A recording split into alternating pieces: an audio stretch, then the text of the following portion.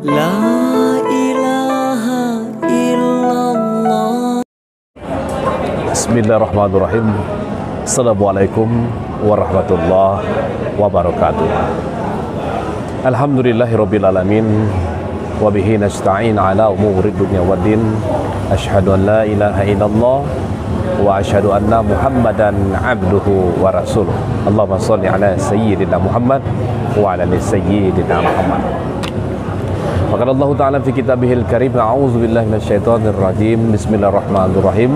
Qayyumu yarzuku mayyasha'ul quwwah Sadaqallah Sahabat-sahabat Pemirsa Subscriber di Youtube channel Seni Bela Diri Al-Hikmah Dan juga sahabat-sahabat ikhwan wa akhwat Al-Hikmah Para perawat pembina, para dewan guru Dan para sahabat-sahabat calon ikhwan Al-Hikmah yang dirahmati oleh Allah Subhanahu wa taala.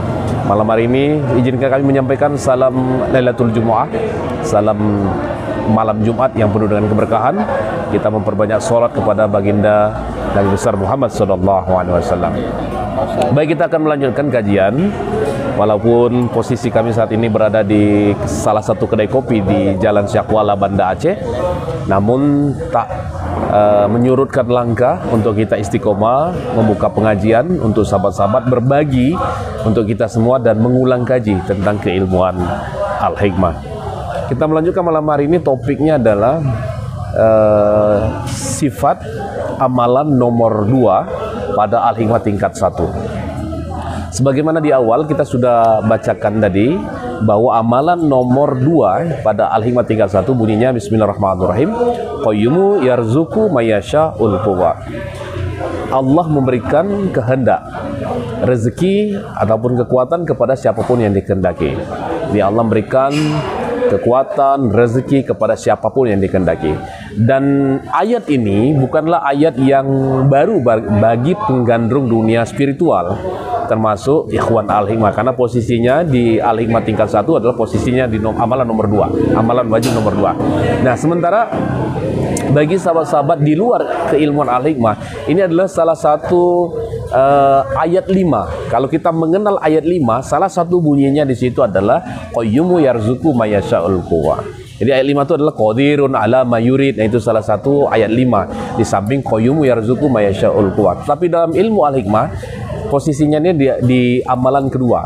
Setelah amalan pertama ya yang wajib yang sifatnya uh, menutup ataupun mengunci, maka amalan yang kedua ini amalan nomor dua ini sifatnya adalah sifat utamanya adalah membuka membuka apa? Membuka kekuatan ilmu seseorang yang jahat ataupun ilmu hitam, ilmu sihir, black magic, santet dan sebagainya termasuk membuka uh, gangguan ataupun uh, sifatnya mengeluarkan.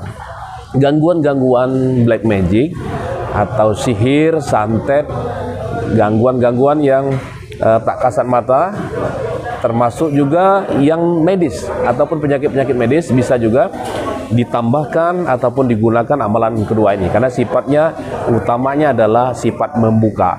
Jadi membuka penyakit, mengeluarkan penyakit, membuka ilmu-ilmu uh, yang negatif, kekuatan ilmu-ilmu jahat termasuk di dalamnya adalah melepaskan senjata tajam pada saat berhadapan dengan musuh. Jadi sifat amalan nomor dua ini adalah membuka lawan daripada amalan nomor satu. Kalau amalan nomor satu menutup atau mengunci, maka amalan kedua ini sifatnya membuka. Nah, membuka ini senarai juga dengan melepaskan, melepaskan gangguan, setan, iblis, dan jin kafir, penyakit medis dan non medis, melepaskan senjata tajam pada saat uh, berhadapan dengan musuh. Nah, ini fungsinya uh, sifat daripada amalan nomor dua alimah tingkat dua.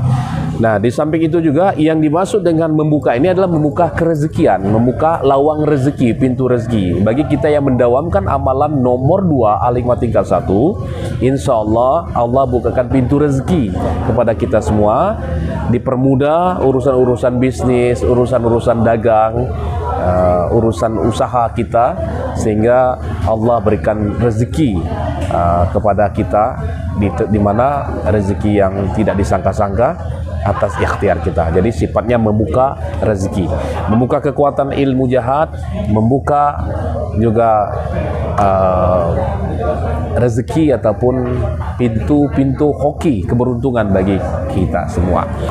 Dan demikian sahabat pemirsa, fadilah atau ataupun sifat ya sifat. Sekali menyebutnya adalah sifat.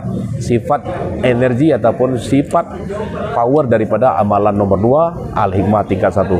Mudah-mudahan walaupun singkat ini dan padat ini dapat menambah istiqomah bagi kita semua untuk dapat mengamalkan dengan uh, istiqomah amalan nomor dua al hikmah tingkat satu. Demikian dari kami sahabat mirsa ikhwan wa ahwat al hikmah Uh, salam silaturahim, salam Lailatul Jum'ah, salam tauhid la ilaha illallah Muhammadur Rasulullah. Subhanakallahumma wa bihamdika asyhadu an la ilaha illa anta astaghfiruka wa atubu ilaik. Assalamualaikum warahmatullahi wabarakatuh.